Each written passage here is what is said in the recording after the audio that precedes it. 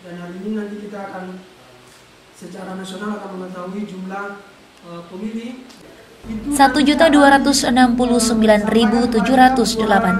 pemilih ditetapkan oleh KPUD Maluku setelah melewati proses pleno di tingkat kabupaten hingga provinsi.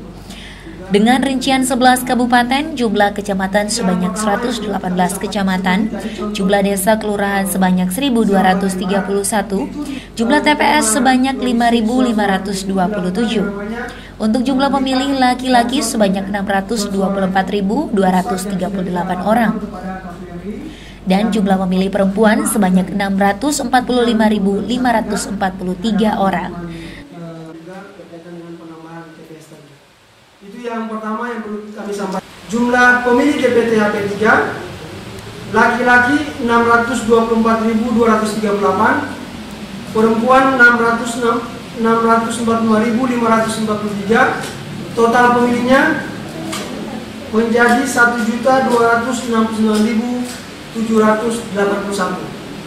Jadi ini yang kami sampaikan kepada teman-teman uh, sekalian penambahan TPS itu ada di satu TPS di Seram bagian timur.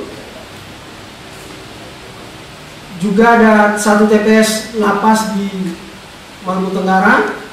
Kemudian juga ada di beberapa kabupaten di Seram bagian barat.